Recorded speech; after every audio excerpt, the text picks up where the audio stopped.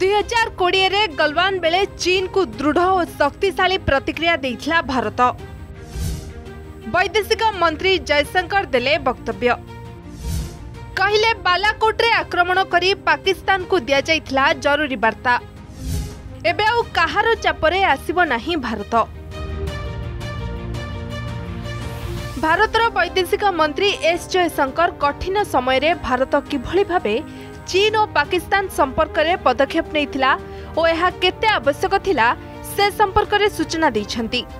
ଚେନ୍ନାଇଠାରେ ତାମିଲ ସାପ୍ତାହିକ ପତ୍ରିକା ତୁଗ୍ଲକର ତେପନତମ ବାର୍ଷିକ ଉତ୍ସବରେ ଯୋଗଦେଇ ସେ ଏ ସମ୍ପର୍କରେ ବିସ୍ତୃତ ଭାବେ ସୂଚନା ଦେଇଛନ୍ତି। ସେ କହିଛନ୍ତି ଯେ ଚୀନ ଲଗାତାର ଭାବେ ଉତ୍ତର ସୀମାରେ ଅଧିକ ସୈନିକ ଆଣି ଯଥାସ୍ଥିତିକୁ ବଦଳାଇବାକୁ ଚେଷ୍ଟା କରୁଛି। କୋଭିଡ୍ ନାଇଣ୍ଟିନ୍ ଚରମରେ ଥିବା ସତ୍ତ୍ୱେ ଭାରତ ଦୁଇହଜାର କୋଡ଼ିଏ ମସିହାରେ ଗଲୱାନ ସମୟରେ ଯେଉଁଭଳି ଭାବେ ପ୍ରତିକ୍ରିୟା ଦେଇଥିଲା ତାହା ଅତ୍ୟନ୍ତ ଶକ୍ତିଶାଳୀ ଓ ଦୃଢ଼ ଥିଲା ବୋଲି ସେ କହିଛନ୍ତି Our long suffering approach had, however, created the danger of normalizing terrorism. That is why Uri and Balakot sent a much needed message.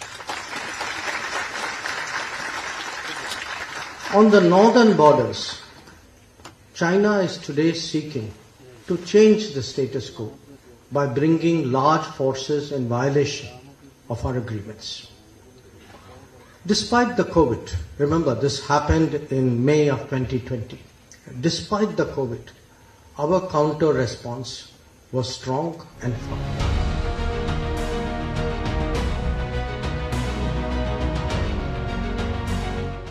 Shri Jaishankar ଆହୁରି କହିଛନ୍ତି ଯେ ରାଷ୍ଟ୍ରୀୟ ସୁରକ୍ଷା ଏକ ବଡ଼ ବିଷୟ। ସମସ୍ତ ଦେଶମାନଙ୍କୁ ଏହାଦ୍ୱାରା ପରଖାଯାଇଥାଏ।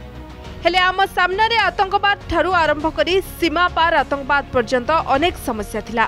ଦୁଇହଜାର ଉଣେଇଶ ମସିହାରେ ପୁଲୱାମାରେ ଆକ୍ରମଣ ପରେ ବାଲାକୋଟ ଏୟାର ଷ୍ଟ୍ରାଇକ୍ କରି ଆମେ ଖୁବ୍ ଆବଶ୍ୟକୀୟ ବାର୍ତ୍ତା ଦେଇଥିଲେ। ଶ୍ରୀ ଜୟଶଙ୍କର ଆହୁରି କହିଛନ୍ତି ଯେ ପାକିସ୍ତାନରୁ ଜନ୍ମ ନେଉଥିବା ଆତଙ୍କବାଦ ହେଉ ବା ଚୀନରେ ବାସ୍ତବିକ ନିୟନ୍ତ୍ରଣ ରେଖା ଉପରେ ଆକ୍ରମଣାତ୍ମକ ବିବାଦ ଘଟଣା ହେଉ। ଭାରତ ଏହାର ପ୍ରତିକ୍ରିୟାରେ ଯେଭଳି ଜବାବ ଦେଇଥିଲା ତାହା ସ୍ପଷ୍ଟ କରିଦେଇଛି ଯେ ଭାରତ ଆଉ କାହା ଚାପରେ ବି ଆସିବ ନାହିଁ। ଭାରତ ତାର ନିଜର ସୁରକ୍ଷାକୁ ସୁନିଶ୍ଚିତ କରିବାକୁ ଯଥାସମ୍ଭବ ପଦକ୍ଷେପ ଗ୍ରହଣ କରିବ। ଶ୍ରୀ ଜୟଶଙ୍କର କରୋନା ଓ କରୋନା ଟୀକା ଉପରେ ମଧ୍ୟ ବକ୍ତବ୍ୟ ରଖିଥିଲେ। These troops, these troops deployed in the thousands, safeguard our frontiers in the most extreme terrain and the harshest weather. And it continues to this day. So India matters because the world sees that this is a nation that will not be coerced. It will not be coerced by anybody. And that it will do what it takes to ensure its national security.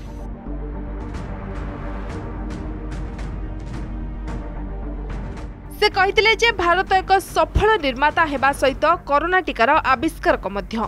Corona ସମୟରେ ବୈଶ୍ୱିକ ଚେତନାକୁ ଅଲଗା ଅଲଗା ଉପାୟରେ ଭାରତ ପ୍ରଭାବିତ କରିଥିଲା ବୋଲି ଶ୍ରୀ ଜୟଶଙ୍କର କହିଥିଲେ। ଭାରତ ସେହି ସମୟରେ କେବଳ ନିଜ ପାଇଁ କରୋନା ଟୀକା ତିଆରି କରିଥିଲା ତା ନୁହେଁ।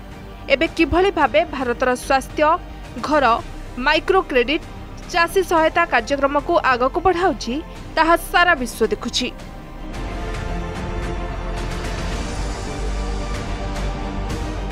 ଆମର ଟେକ୍ନୋଲୋଜି ଆଧାରିତ ଶାସନ ପ୍ରଶାସନର ଆଜି ସାରା ବିଶ୍ୱରେ ପ୍ରଶଂସା କରାଯାଉଛି। ଭାରତର ନାମକୁ ଆଜି ଉଦାହରଣ ଭାବେ ନିଆଯାଉଛି। Bureau report Argus news.